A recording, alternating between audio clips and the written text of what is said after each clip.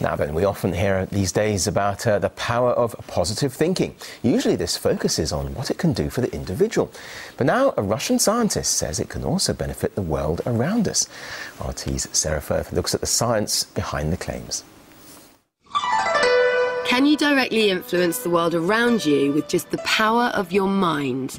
Although it might sound far-fetched, a leading Russian scientist believes we can do exactly that and using a device that photographs human energy fields, he's attempting to prove it. We are developing idea that our consciousness is an active part of our material world.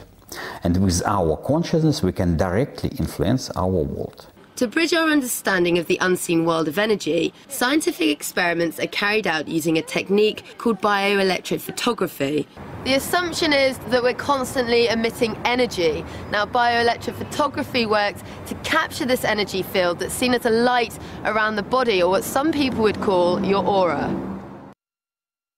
Discovered in the 1930s by Russian inventor Semyon Kirlian, he realized that stimulating a subject with a short electrical impulse, you get a burst of light of photons and electrons around the subject. It looks like aura, but I don't like this word because it has some metaphysical meaning.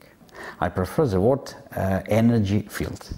The device itself photographs each finger individually, with different fingers responsible for different parts of the body, and feeds the information into a computer to interpret.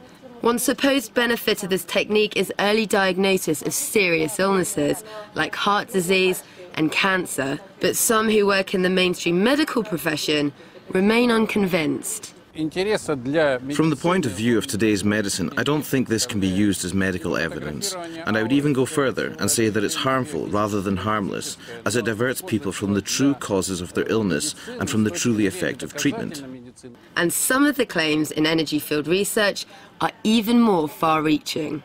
With our emotions, with our intentions, we can directly influence our environment, our space. Of course, this idea is absolutely new. That's why it has a lot of criticism still. It has a very important message for all of us.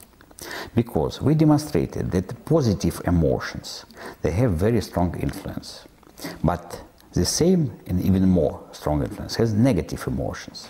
But in one case, energy comes up, in another case, comes down. So it means that if we are developing in ourselves ability to create love, to create positive emotions, we change space around ourselves. The idea that our personal energy can change the structure of the world around us is viewed by many with deep skepticism. But in the sphere of bioelectrophotography, work continues to find scientific proof for the theory. Sara Firth, RT, St. Petersburg.